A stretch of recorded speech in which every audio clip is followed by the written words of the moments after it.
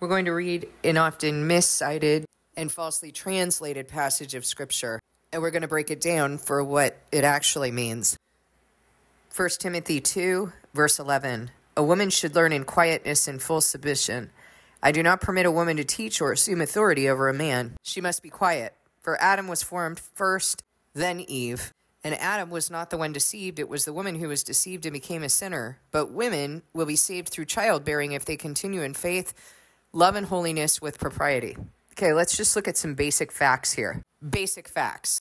Not all women bear children.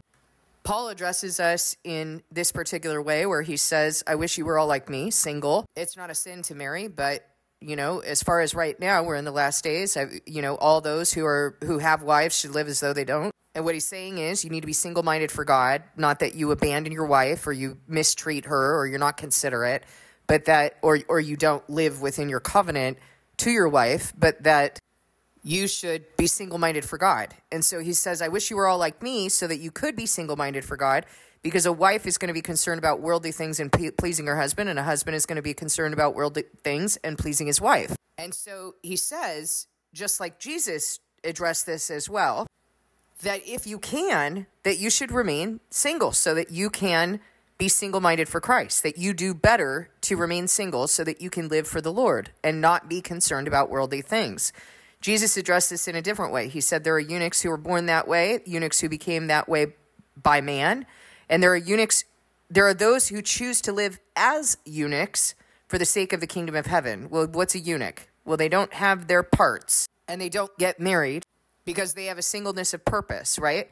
And so living like a eunuch is essentially what Paul was addressing. So, just basic fact, guys, if Paul and Jesus say that those who can accept this should live that way, which is how Jesus lived and that's how Paul lived, single minded for the kingdom of heaven, is he then going to turn around and say to the virgin who has not bore children, Well, you didn't bear any children, tough luck, kid?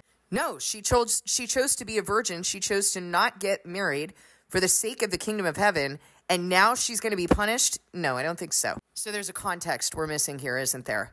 And as it is, if you go to that little footnote next to woman, you're going to see that it says or wife. Oh, well that's different.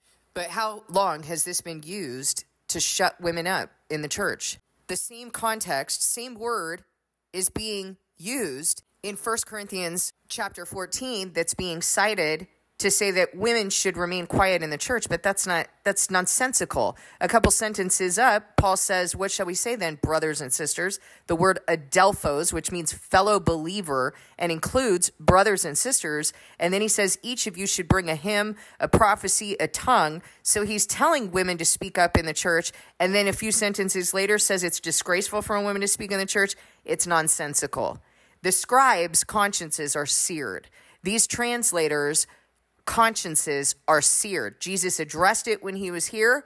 They lead the people astray. You must be led by the Holy Spirit, or you're not going to catch these things. And you're going to be led, led astray by all the unstable people that use these scriptures in order to oppress women, in order to claim falsely that women have a different covenant than men. That's simply nonsensical.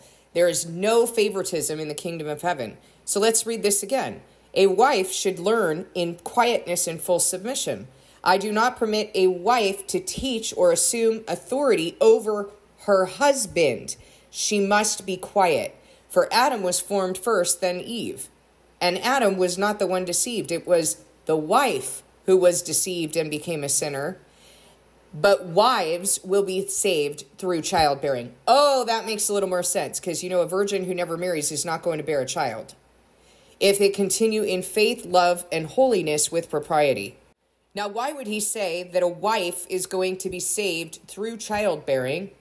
Well, technically, all of us are required to bear children.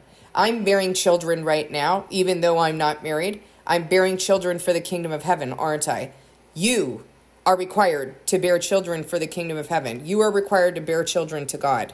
So, technically, this is not something that is being it's not like a stipulation that's just for wives or just for mothers, because you must bear children for the kingdom of heaven. You must be a worker in the field, bringing children, harvesting in God's people, and bringing them to Him.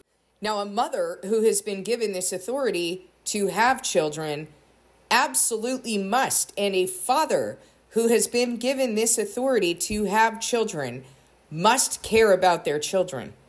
So, why are there some of you who do not? Why are there some of you who are busy in other people's households convincing yourselves that what you're doing is right because you're helping other people and your house is starving? Why is it that the word says that it is that a, a person who does not provide for their own household is worse than an unbeliever? And there are some of you who think you're in the body and yet you are not providing for your own household. You're off living this grand life of salvation, of so called salvation. You don't know where your children are. You don't know what's going on with your husband, your wife. What's going on, guys? How have you convinced yourself that you are going to be saved? How have you convinced yourself that it is okay to go and clean somebody else's house while your house remains in filth? How have you convinced yourself that you're out there feeding people because you call them up on the phone and you tell them, and you have conversations and things like this, but your house is starving? How how is that a thing? You've forgotten about your own flesh and blood. You think you're out there bearing children and the children that God has given you to shepherd to Him, you have completely abandoned. You have forgotten the child, the infant nursing at your breast. Why is it that I have to tell you that and you claim to be doing the work in which you should be hearing from God? And I've told you a thousand times that you as an individual must be healing, and then He must move you to manage the house He has placed you over. He must move you to walk in the authority that you've been given. Why are these things happening in what is claiming to be the body? Do you not understand that this is your covenant? Do you not understand the words of God, or do you just disregard and think, oh, he's just, you know, he's talking to everybody else, or or maybe he's mincing his words, you know, when he says, or maybe he's a man that he should lie. Maybe that's the thing. When he says that if you do not provide for your house, and there's more than one way to provide for your house. You think God's more concerned about money than he is about the truth? If you are not providing for your house, you are worse than an unbeliever. I know someone in the body who continually asks her children, Would you like me to pray with you tonight? Even though her children reject her, she continually asks them, Can we pray together? She continues to speak with them. Even though they get upset with her and they say things like, You think we're stupid. You talk to us like we're dumb. And yet she continues. She continues to do it. But then there are those of you who have been told, you had to be told to reach out to your kids. How do you have to be told to reach out to your kids? How are you so selfish that you are so concerned about yourself and your own salvation, thinking that you are on that path to salvation? And you have to be told to reach out to your children. And then when they reject you, you're like, okay, well, I tried. I did my part. God knows I did my part. Let me tell you something else God says. If your house is not in order, you will never serve in his house. Do you understand what that means? If you are not managing your house, you will never serve in his house. Ever. How can you be saved? How have you convinced yourself that you are on the path to salvation?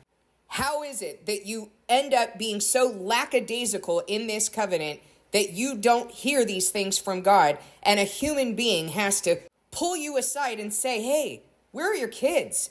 Where's your husband? Why aren't you hearing these things from God if you're actually doing this work and bringing yourself to Him? I want to remind you that Eli, who wasn't doing the things that his sons were doing, his sons were threatening people at the at the temple. They were sleeping with the women at the at the temple. They were doing all kinds of evil. But because Eli did not manage his house, God not only destroyed his sons, but he destroyed Eli too. And that is exactly what will happen to you. I am not going to mince words about this, and I am not going to coddle anyone to hell. You will be destroyed if you cannot be bothered to care about your own house. How can the love of God be in you if you let your children die and starve while you're off taking care of somebody else's house? Don't come to me and justify yourself saying, "Oh, I'm doing something good. I'm doing, you know, God's work with other people." Don't justify yourself to me. because I do this work and I know the fruit of one who's doing it. They don't justify themselves, they are consistent and they commit themselves to the work.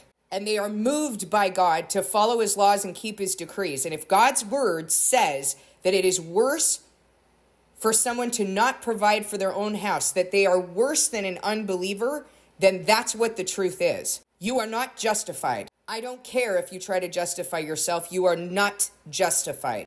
I don't care if you sent a couple Facebook messages to the, your child that you've been estranged from and you have it justified in your mind that you did your part. Why is God not moving you to do the things that He has said in His Word? Why do I have to call you up on the phone and tell you multiple times, multiple times, not just once, not just twice, not even three times, multiple, several times, I have had to say, you need to get your house in order. Why? Why is it that I've heard from people who will who will sit and complain to me on the phone about how their wife is contributing to John Hagee's ministry and they know it's wrong and they know that John Hagee is a false teacher and when I confront him and I say, "You need to tell your wife that." Why have you not said anything to your wife? Why is it that I get the response, "Oh no, I would never say anything to my wife because I love my wife."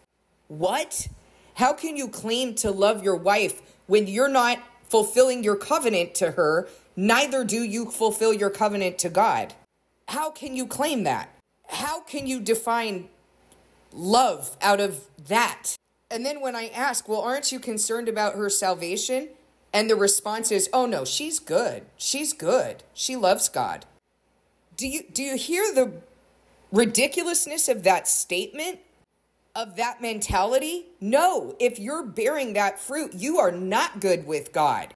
And if you won't confront your spouse about falsehood that they're living in, that they love more than truth, you don't love truth either. This is serious business, you guys. I told you a few weeks ago that God was letting me know that He was going to be, that I was going to be speaking more directly. A few days ago, he told me he was going to be speaking directly with people.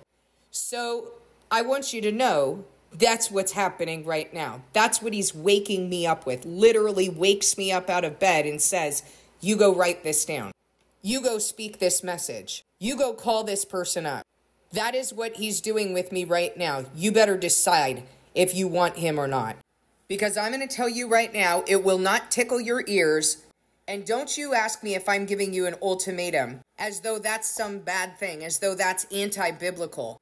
God gives ultimatums, guys. If you think this message is coming from me, you got another thing coming. This is not a comfortable message for me to speak to you. I don't get anything out of it. You better go back to him and ask him if this is his message.